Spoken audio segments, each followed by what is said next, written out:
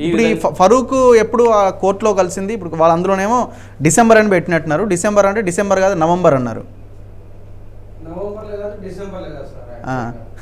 కలిసిన అన్న డేటు శనివారం అండి. ఆ, జుడిషియల్ క్యాలెండర్లో హాలిడే ఉంది. ఫిజికల్గా కూడా హాలిడే ఉంది. మీరు కూడా అడిగినా. ఎన్పి వెంకటేష్ గారి ద్వారా మీరు. క్లారిఫికేషన్ తీసుకున్నారు. సేమ్ టైంలో శంషాబాద్ డీసీపీ గారి కస్టడీలో ఉన్నారు. రెండు గన్లు నలభై బుల్లెట్లు దొరికినాయని మీరు యూట్యూబ్లో ఒక వార్త కూడా వచ్చింది మీరు. చూస్తుంటారు. వాళ్ళ కస్టడీలు ఉన్నాయని నేను ఎట్లా కలుస్తాను? ఒక్కసారి కోర్టులో కలిసిన మాట నిజం. ఫరూక్ గారు ఏమన్నారంటే ఫస్ట్ టైం అండి అతను. అతను చూడడమే ఫస్ట్ టైం. ఉమ్, ఒక్కటే విజిట్లో కలిసి అరే నువ్వు మొన్న తీన్మార్ మల్లన్న ఇంటర్వ్యూలో వచ్చింది నువ్వే కదా అంటే అవునన్నాడు. నువ్వు అమర్ వాళ్ళ తమ్ముడు కదా అంటే అవునన్నాను ఆ, అరే పిచ్చోడా ఏం కొట్లాడుతున్నావు రా పెన్నుతోటి? గన్నిస్తా వాడిని శ్రీనివాస్ గౌడ్ గారిని లేపే అన్నాడు. అరే నువ్వు పిచ్చోని ఉన్నావురా నాయన నా పని నేను చేసుకుంటా అని ఒక పది నిమిషాలు మాట్లాడిన మాట వాస్తవం సార్. వానంతకు వాడే వచ్చిండు వాడే శ్రీనివాస్ గౌడ్ నువ్వు లేపేయమని చెప్పిండు. అంతే ఇదంతా Srinivas Goud before sketch first పరిచయం లేవాడు వచ్చి. వీళ్ళు అక్కడికి వస్తారు వీళ్ళతో నువ్వు కోడ్ మాట్లాడినట్టుగా చేస్తే సో అవుతుంది. ఇదంతా మాట్లాడింది అన్నది రికార్డ్ అవుతుంది కదా.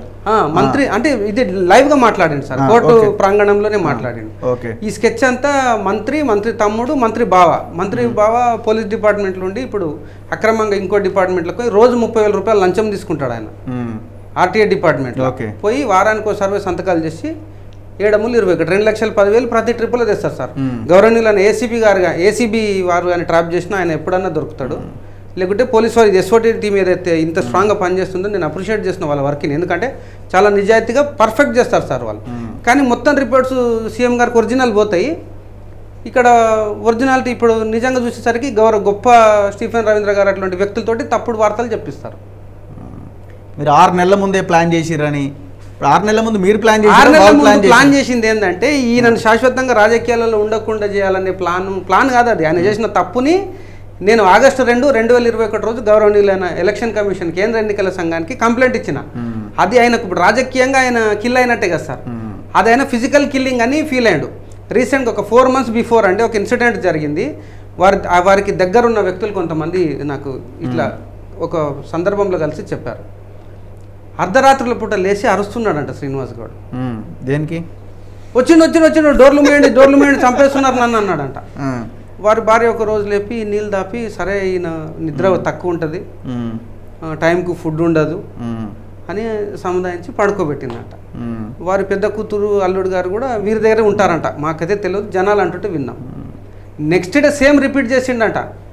మెత్తలు తీసి పడేస్తుండంట దుప్పట్లు పడేస్తుండంట అయిపోయింది నన్ను చంపేస్తుంది మూడు రా డోర్లు మూడు రా అని అరుస్తుండంట. అరిసేసరికి వాళ్ళ అల్లుడు గారు అనస్థిషియా డాక్టర్ గారు అతనికి సంబంధించిన ఒక సైకియాట్రిస్ట్ గారిని పిలిపించారంట పిలిపించి ఇట్లా మా మామగారు కొంచెం ఒత్తిడిలో టెన్షన్లో ఉన్నాడు బాగా కొంచెం ట్రీట్మెంట్ ఇవ్వండి అంటే వారు మూడు రోజులు వారికి కౌన్సిలింగ్ ఇచ్చారు. ఓకే. ఇచ్చి రాజకీయాలలో ఉన్నారు సార్ మీరు. శాంతంగా ఉండాలి. ఎవరన్నా రాజకీయాలలో ఎవరైనా ఉమ్ముస్తుడో తూడ్చుకొని పోవాలి కానీ మీరు మొత్తం బ్రెయిన్లో ఒక్కటే పెట్టుకున్నారు మీకు ఆల్రెడీ డయాబెటిక్ పేషెంట్. ఎక్కువ స్ట్రెస్ పోతే మీరు కోమాలకు పోయే ప్రమాదం ఉందని వారికి సముదాయించి ఏమంటారు మన కౌన్సిలింగ్ ఇచ్చేసి వారిని కూల్ చేయడం జరిగింది కొన్ని మెడిసిన్స్ ఇచ్చేసి. శ్రీనివాస్ గౌడ్ గారికి ఏంటంటే కళలో నేనే కనిపిస్తున్నాను. ఏదైనా ఫంక్షన్లో పోయినా నేనే కనిపిస్తున్నాను. ఎక్కడ పోయినా ఆయన చిత్రంలో నేనే కనిపిస్తున్నాను. దీన్ని ఏం చేయాలి? ఏదో ఒకటి చేయాలి రఘుని. వాడు కేసులు కాంప్రమైజ్ అవుతలేడు. డబ్బులు ఇస్తానన్నా కాంప్రమైజ్ అవుతలేడు. వారి ఫ్యామిలీ మెంబర్స్ ఆస్తి ఆయన ఆస్తిలో సగం ఆస్తి రాసిస్తా అంటాడు. అవ్వచ్చు కదా మరి. ఆయన మొత్తం ఆస్తి కేసీఆర్ గారు సంపాదించిన ఆస్తి తెలంగాణ రాష్ట్రంలో మొత్తం ఆస్తి నాకు రాసిస్తే కూడా నేను కాంప్రమైజ్ కాను.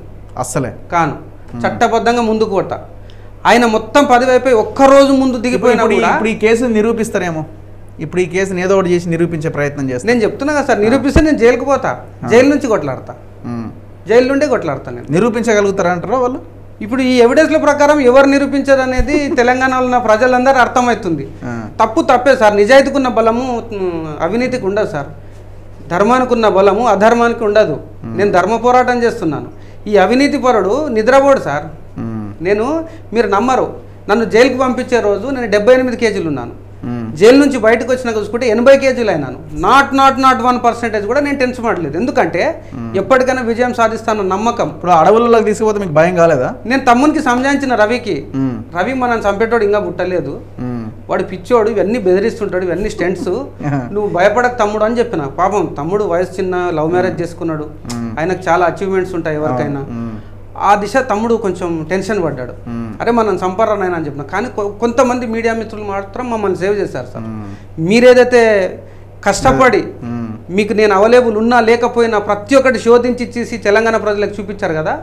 దేవుడు కొంతమంది మీడియా మిత్రులను పంపించాడు. వీళ్ళని ఫాలో అప్ చేసేసరికి అన్ని వీడియోలు అవి తీసేసరికి వీళ్ళు ప్లాన్ చేంజ్ చేశారు. దాన్ని విడ్రా చేశారు. అసలు నా ఇంటికి ఏదో గన్స్ తీసుకొచ్చి బుల్లెట్ ప్రూఫ్ జాకెట్లు వేసుకొని నన్నే షూట్అవుట్ షూట్ చేయడానికి వచ్చారు మా ఇంటికి. ఇప్పుడు ఇరవై ఐదు రోజు ఎఫ్ఐఆర్ అయింది కదండి. ఇరవై మూడు రాత్రికి ఇంతమంది పోలీసులు ఏ చట్ట ప్రకారం మా ఇంటికి వచ్చిండ్రు మీద ఎఫ్ఐఆర్ కాలే ఎఫ్ఐఆరే కాలేదు. మొత్తం డ్రిల్లింగ్ మిషన్స్ అండి మీరు మీరు మా ఇంటికి వెళ్ళి మీరు. చూశారు. మొత్తం కోసేసిండ్రు నా కుక్కని ఇద్దరు డాగ్ స్క్వాడ్ స్పెషలిస్ట్ ట్రైనర్లు తీసుకొచ్చి దాన్ని బంధించేసిండ్రు. వీళ్ళు ఇంత చేసి కూడా నా చిన్న కూతురు పదకొండేళ్ళు ఉంటుంది దాన్ని బెదిరించలేకపోయింది సార్. వాళ్ళని డైరెక్ట్ ఎంత మంది వస్తే వాళ్ళ వీడియోలు తీసింది. వాళ్ళ ఫోటోలు తీసింది. మీరు ఆల్రెడీ చూపిస్తున్న వీడియోలన్నీ ఇప్పుడు వీడియోలన్నీ నా చిన్న కూతురు తీసింది సార్. ఫిఫ్త్ క్లాస్ నా పాప ఈ ముఖ్యమంత్రి అండ్ టీం స్టీఫెన్ రవీంద్ర గారు రెండు వందల మంది ఎస్ఓటి పోలీసులు మంత్రి శ్రీనివాస్ గౌడ్ మంత్రి శ్రీనివాస్ గౌడ్. మళ్ళా ఈ పోలీసుల మీద కూడా ఎంక్వైరీ అండి శ్రీనివాస్ గౌడ్ అనుచరులు. అసలు వీళ్ళు డ్యూటీ చేస్తున్నారు లేదని వాళ్ళ మీద కూడా ఎంక్వైరీ పెట్టారు మంత్రి ఎందుకంటే ఆయన ఎవరిని నమ్మడు. మ్మ్. ఆయన ఎవరిని నమ్మడు. ఇంత చేసి కూడా కనీసం నా చిన్న కూతుర్ని బెదిరేయలేకపోయింది సార్.